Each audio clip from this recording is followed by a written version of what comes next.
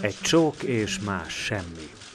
Hiába tűnt úgy az unió soros elnökének és az ukrán miniszterelnöknek a találkozója után, hogy minden megoldódik. Az orosz gáz nem kapott zöld utat Kijevtől.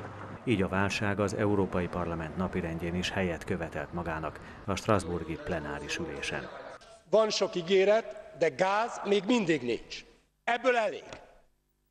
Nem tűrhetjük, hogy Európa egy, egy cinikus hatalmi játszma vétlen áldozata legyen.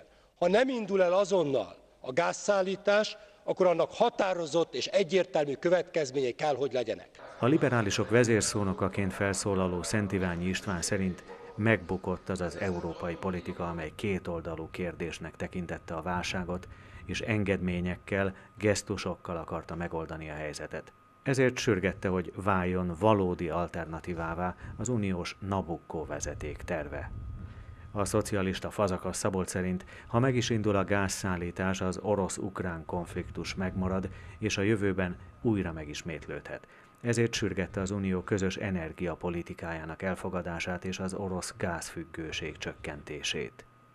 Ehhez új források és szállítási útvonalak kiépítésére, valamint a tagországok hálózatainak egymással való összeköttetésére van szükség, ezek kiépítését azonban nem várhatjuk el piaci alapon, hanem a közös európai érdekek alapján európai forrásokat kell rendelkezésre bocsájtani. A Fideszes Gyürk András szerint nem lehet kétoldalú magánjogi vitának tekinteni egy olyan helyzetet, amely uniós polgárok százmillióit érinti. A mostani válság nem csak a közös energiapolitika, hanem az uniós szolidaritás próbatétele is.